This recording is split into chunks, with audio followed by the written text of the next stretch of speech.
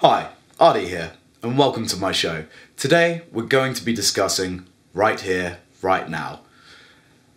Insightful, magnificent, a tour de force, uh, the next big thing in new media. Or is it? Right here. Is that what? Oh, right here, right now. Is that what you? Oh, good God! Right here. Yes, I remember. That was appalling. You, you asked me how I feel. Is, is that a, a serious question? I wasn't given a chance on this programme. I was steamrolled all the way and I was moved to violence. Moved to violence, and, and that is not my way, nor the way of my party. Well, he was drunk all the way through, uh, quite, quite insulting and derogatory about my documentaries and my research, and eventually ended up walking off of his own show. So like they kept going on about these like accusations, and you know, I made it very clear that that was about the punk side of me. That wasn't me. That wasn't true.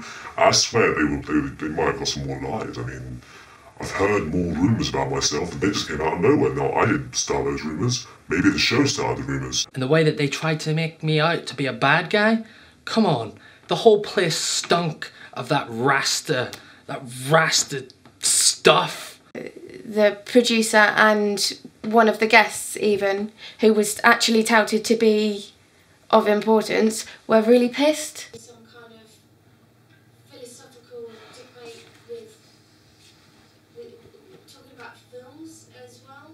It was really um, unprofessional, and actually, I, uh, I, I, I was harassed uh, by another one of the participants, um, Kev, I think his name was. And overall, just it was really uncomfortable, poorly managed. What are we going to do about this? Uh, oh, oh, I'll, I'll call Kev, alright? I'll call Kev.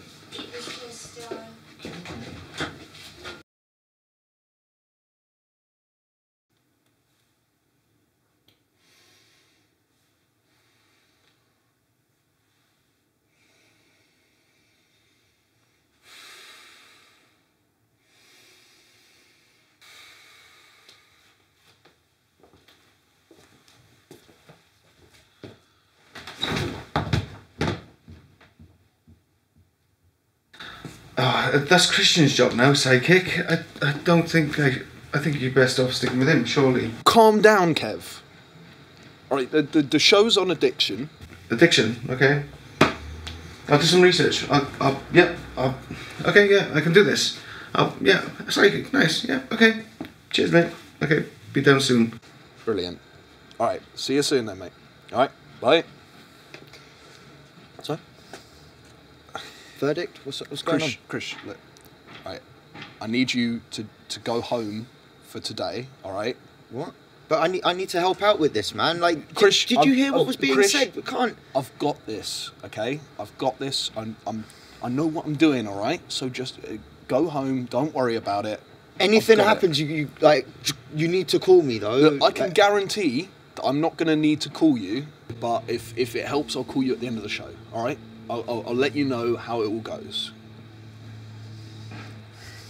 It's not I don't trust you. You know I trust I've- you. Yeah, Yeah, I know you trust me, but I've got this, okay? I, let, look, I, I know Alright. what I'm doing. Let me do what I do, all right? Alright. Alright. Alright.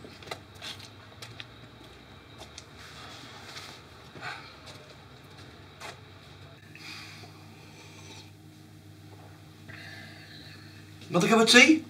No, Marty. Uh, I've, I've got one already. Yeah, get another one.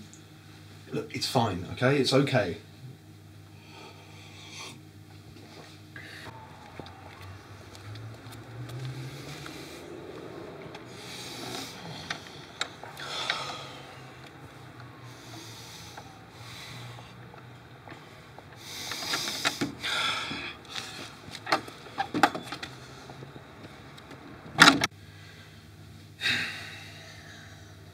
Looking forward to the show. Ah, Kev. Oh. Hello. Hi. Good to see you. Hello. How, how, how are you guys? Good. Yeah. It's gonna be a good show. It's gonna be good. What, what, what's, what's happening today? Ah, ah, we're doing addiction, aren't? Yeah. Okay. I'm quite excited actually. I'm. Uh, it's going to be therapeutic to talk about my own problems. You know. I'm going to talk about your your problem with alcohol and your your own addiction. Yes. That's that's very brave. Well done. Nice. You're brave. So who, who have we got on the show? Ah, right, yeah. Sandra um, Bookard, she, she's coming back again um, because she's also been um, having a few and, and like and stopping and stuff. So she, what? Just what is she? Is she an alcoholic? Is she sober? What? I think she's sober now. I think she's doing the classes like like, like your one, like where you just to stop doing that. AA. Yeah, yeah, that kind of thing. Yeah. Right. And, then, And- and, and there's a guy Stuart, and he runs like a self-help group for like lads who, who also like like too much of that. Bit of a shame. Look, can you can you stop doing this? Oh, okay, yeah, yeah, I'll, I'll do this instead. Cool, be cool. It's gonna be good. Mm-hmm. What's up with you, Kev? Nothing. Nothing. You're, you're, you're, you're back in the sidekick position. You should be beaming. Yeah, yeah, yeah. I'm really happy to be here. It's gonna be good. It's gonna be good. It's gonna be good. Mm-hmm. Hello, and welcome to Right Here, Right Now with me, Mick Riggers. Joining me today in the studio and back from out on the street is Kevin Decline. hello, hello. Now, before I get on with the show, I just wanted to make a quick apology to our listeners. Uh, we are finding it incredibly difficult to keep up with the fast paced nature of the news currently. Uh, with Trump, Brexit, and our calamitous government, uh, it's difficult to keep on top of it. And now for the news of the month. The mainstream media have been ramming Prince Harry down our throats, presumably to give us a sense of how Meghan Markle feels when Harry's in the mood. What you may have missed in this royal bombardment is a government announcement to freeze benefits for the next three years, which works out as a real term cut of 3% a year.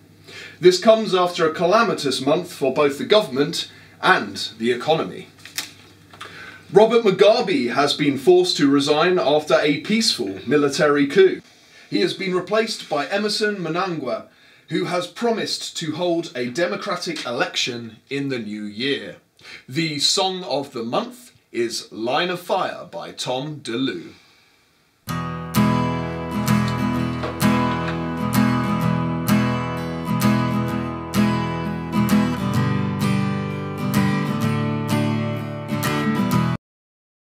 So I'm here to talk about uh, alcohol addiction, actually. Yes. So why? Oh, really? Alcohol? Oh, yeah. Yes. I'm, I'm, I'm uh, helping people with that as well. You know, are, uh, you? therapy, therapy sessions and groups Oh. like that. Uh, but basically, it's just um, yeah, it's a congregation sort of thing. If you know what that is, uh, like it's basically it's just a, like a people come together, they pull up chairs, they sit down, they kind of explain what's wrong with them. It- Uh, and they have to talk, of course, about the alcohol addiction in itself, because otherwise, well, well, well, you can't come to terms with something you don't accept. So you're explaining to me what a group that Absolutely. meets to talk about Absolutely. addiction is all about. Yeah, there's nothing wrong with that. So, You know, okay, you organise these, do you? I, yes, me and a few others. Right. Yes. I do understand. you know, seeing as we're a company. Right. Well, we're not a like a limited company or a stock company or something like that. It's just there's a group of us trying to do good in this in the, in the community. Are you? Yes. Yeah. Um, which of course, I'm sure I- if you've had experience with that, I- then I'm sure you can kind of fathom. it. I, yeah, Yeah. th- well, that, yes, I can, thank you. Uh, so yes. it, it, it helps because addiction affects everyone very very different ways, very different ways. Especially when it comes to alcohol, it becomes you know part, partly money, uh, if not uh, social, um, if not, yeah, it can become pretty pretty uh, negative effect on your life.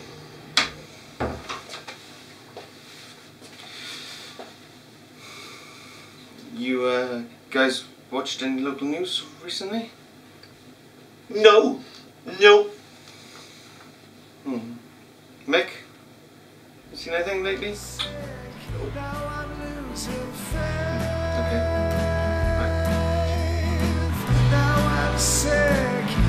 Yes, just um, Oh, cup tea. oh no, of course.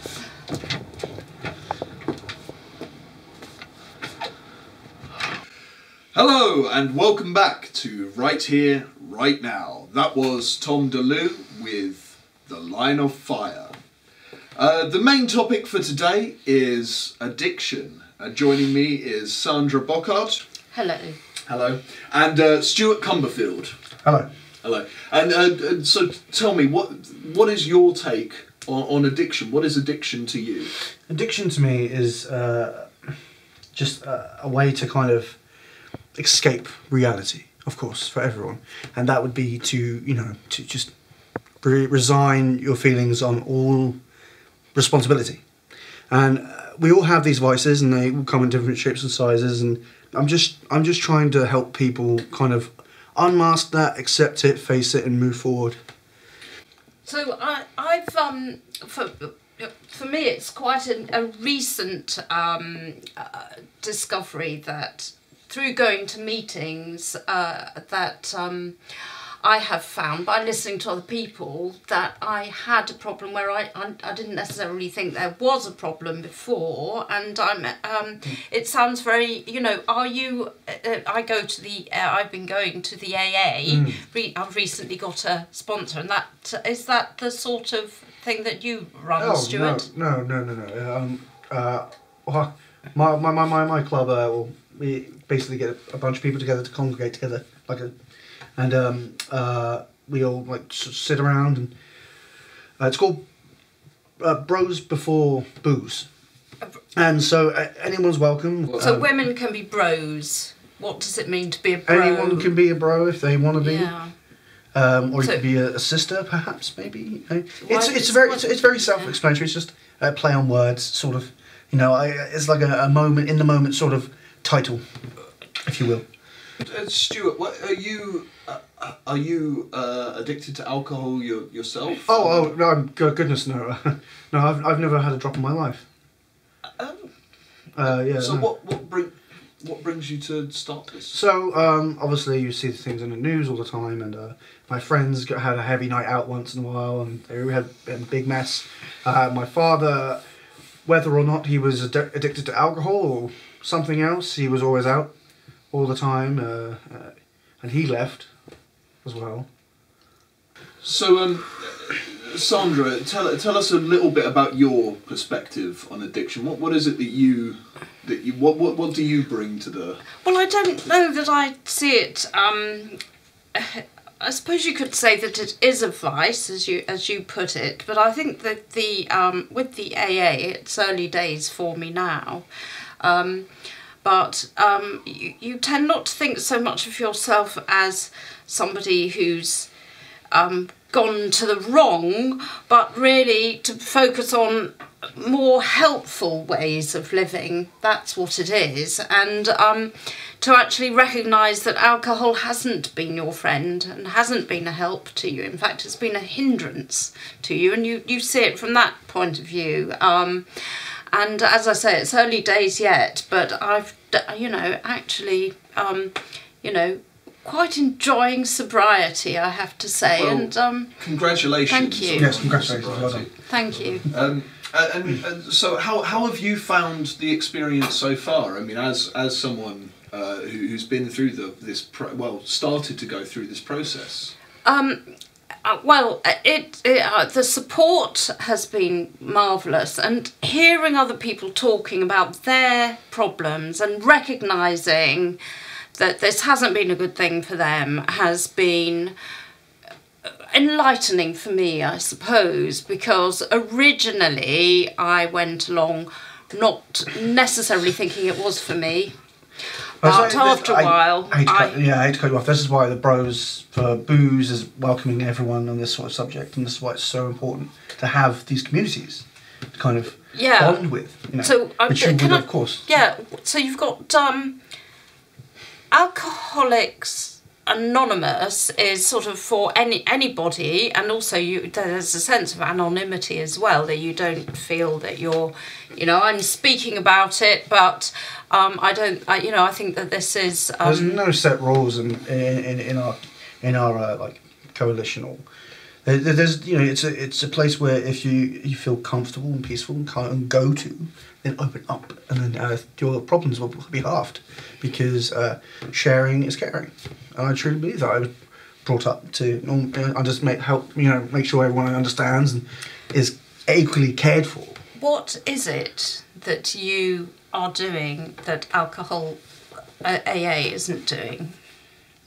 Well, why is it that your, you know, that your organisation is needed when there is the AA, which Because some people sometimes associate uh, a real medical, uh, sometimes, obviously, I'm not medically clear, clear, cleared or anything like that. It's purely support, it's purely just local support, um, but it is more involved because there are a lot of people. More involved than the AA. It can be in terms of social because there are a lot of people that go they see a direct medical uh, invention or uh, possibility it, it it's stressful it's very it's a lot of pressure but if you go to something that's a little bit more casual a little bit more well, I dare say fun but um then it, it, it opens up a new it opens up that, that door you know you get that happiness back and it's just finding a new thing to kind of to, to kind of help you forget and then dissolve these these addictive feelings and addictive tendencies Why? Well, So I. if, if you don't mind me talking about my own experience Oh, of, of um, Please do. uh, alcoholism, I, it's difficult. It, it's, it's incredibly difficult even to talk about it now. Um, but the thing I, I found so hard about it is, is is is how easy it is to uh, to get alcohol. How it's it, it was socially acceptable. Um, there was no one stopping me. No one even looking funny at me. Um, so it, it just feels like a normal part of your your life, and, and you don't even realize that it, it's a problem until it really until it really starts affecting things Yes. and and you know your life and I, I, the way that I dealt with uh, my addiction and I, I think the cause of my addiction was uh, the stress so I, I, I dealt with it by by removing that stress from my life and and refocusing on the things that I wanted to uh, focus on That's good. Mm. Yes, you you were lucky to be able to get a, to escape from the pressures that Exactly. were, were leading you in the wrong direction. Yeah, exactly. And I think that that's part of uh, what what that's part of getting over your addiction is is facing the things that cause you stress and and and acknowledging that those are the things that are pushing you that way and and Mm. doing something to to change those things. Yes, I agree. I think that's very important to make your life very much um, towards what's best for you. And if there are elements in your life, you know, you look at your relationships and your associates and your job and all those sorts of things, and if there are things that we can change, I think it's a very good idea. And it's good that you went away and had time to think about Oh, it. Oh, precisely. Yeah. Um, so I, th- I think we can. I think we're going to wrap there. Um, I think that was a great discussion. Thank you very much for your for your input, um, Sandra. It was great to hear your experiences and your story. Thank you, and uh, thank you very much for, as well for sharing Yes, your thank you. story Thank too. you. Thank you, and, and thank, you. for coming on the no, show, I, I think Stuart. I, I'm like I'm honoured to be here. Thank you. Great. Um, now, before we finish uh, for today, uh, I have some sad news for our listeners.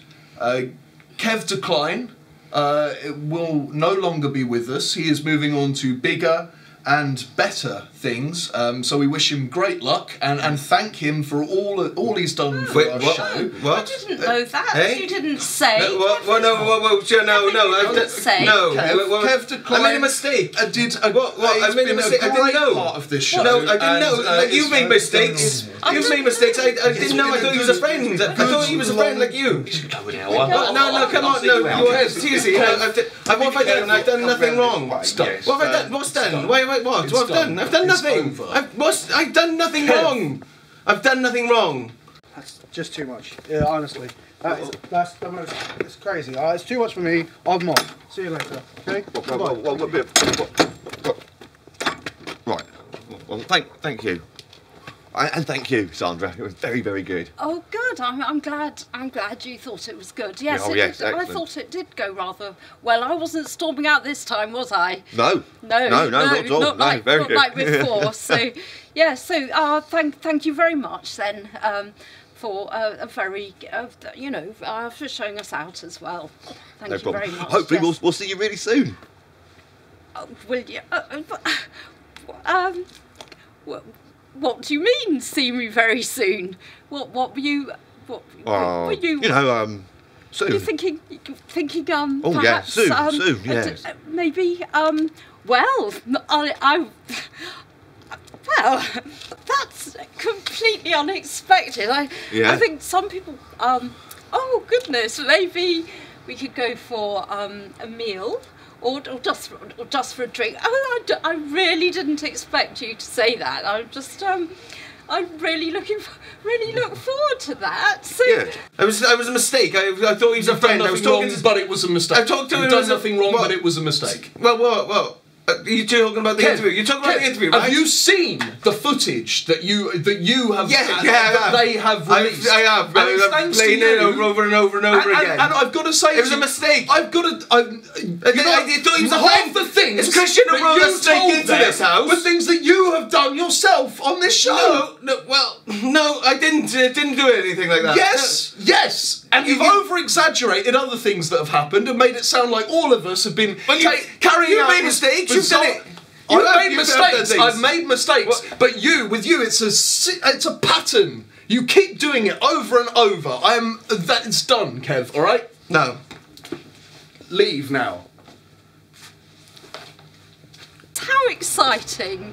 Just didn't expect that at all. Jolly good. Lovely. See you soon.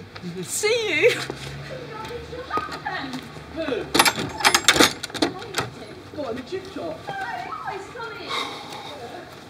Did he you? your I bet you talk to people like that as well. It's just No. turned out that my person. I don't. a- I don't. was I a don't talk about the show other than with you, What do you- Marty, and Krishian. What do you feel about this? What's your view? What do you think? Well, I, I think I think Mick's got a pretty important point here. What, really, what about the blood oath? What about Blood oath. Yeah, I own a third of the show. No.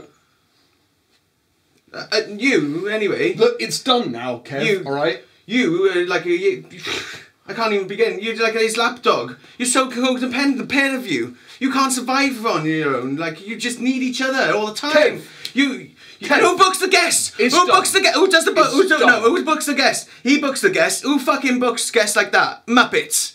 And you go. You going to let him on this? This. And, and you. You're a fucking. You just surround yourself with yes man, just to make yourself look good. You know, and by the way, I play up on that fucking show to make you look more intelligent because you're fucking thick and you blame other people for your shortcomings. You're cowards, the lot of you. Who, who are you gonna get to uh, control the guests? Who's gonna do that? You you wouldn't do it. Can you imagine him controlling the guests, kicking them off? No, Kev. no. The fact is, we don't have anyone else who ends up uh, sexually harassing. So you do. I'm sorry, Sarah. Sarah Longhurst is her name. Yeah. What happened to her? Yeah. Um. Oh yeah. That Yeah. that's different. And- that was Krishian- a different case, and it's a one-off. And you. Do you know what? I can look at myself in the mirror. and over. I look myself in the mirror. Can you say the same? No. Okay. Oh fuck this. You- done. Fuck you all.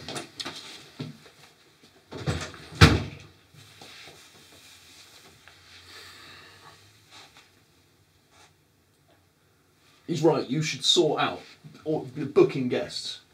He is right about that. Fuck.